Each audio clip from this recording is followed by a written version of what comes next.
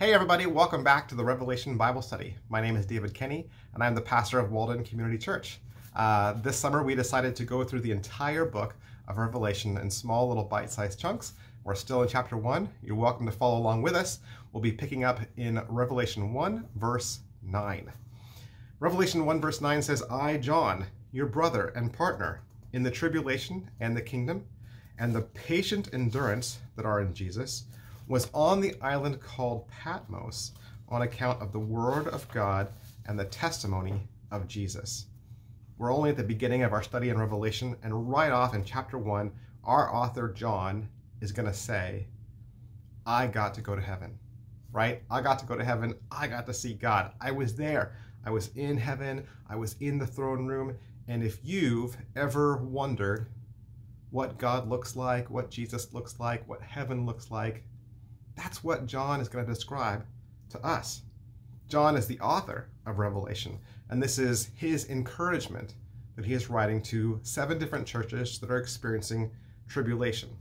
John is in a Roman prison on an island called Patmos, and he's going to stay there. It's a penal colony, it's a mining camp, and the Bible uh, says that he stays there. Tradition says that he dies at the age of 90.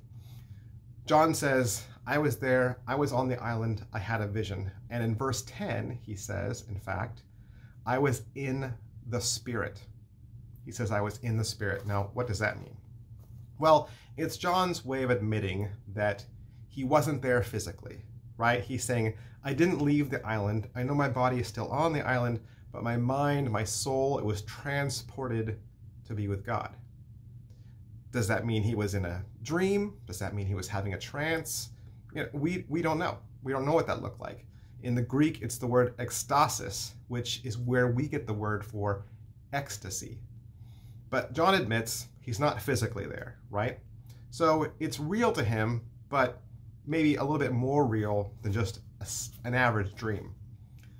This is what Revelation is all about. It's John's revealing right? It's his realizing what heaven is like, what God is like. That's crazy, right? John is imprisoned on an island that is 10 miles by 6 miles. and suddenly, like in an instant, he's left that place and now he's in heaven. In this book, John is going to describe heaven, describe God, describe Jesus as best he can. He is going to use earthly language to describe heavenly beings or to describe heavenly places. And of course, he's going to fall short. He's not going to be able to find that perfect word, but he's going to do his best. And I know we typically don't like to read Revelation because we think it's difficult, or we think there's more ways than one to interpret it, or uh, we get nervous that, you know, we'll interpret it wrong. But, you know, John's doing his best. So I think it's fair that when we read it, we just try our best. You know, the readers of this book lived in first century Turkey, so if they could figure it out, I'm sure we can too. Revelation verse 10 says, I was in the Spirit on the Lord's day. What is the Lord's day? Well, it's Sunday, right? It's the day that they decided to worship Jesus, worship God after Jesus ascended to heaven on Sunday. And I heard behind me a loud voice like a trumpet saying, Write what you see in a book and send it to the seven churches, to Ephesus, and to Smyrna, and to Pergamum, and to Thyatira, and to Sardis, to Philadelphia, and to Laodicea. He says, I had this vision on Sunday, and while I was there, I heard a loud voice behind me like a trumpet, he says. Now, does he mean an actual trumpet? Well, I mean, what's the loudest thing you've ever heard? A car alarm? An air raid siren? He's thinking of something that's so loud, so ear splitting. A trumpet was probably the loudest thing he could think of.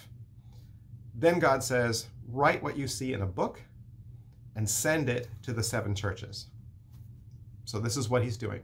This is what the beginning of Revelation is. He's recording what he saw, recording what he was told to do.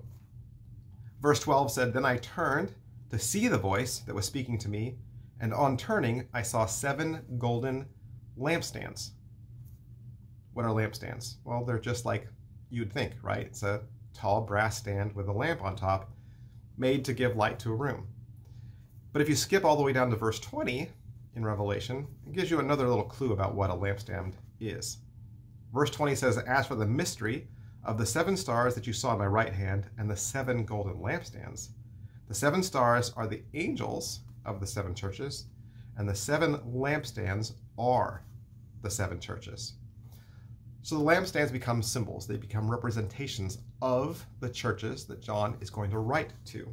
And I think that should remind us of a teaching of Jesus that he had when he was here on earth, which is Matthew chapter 5, verses 14 through 16.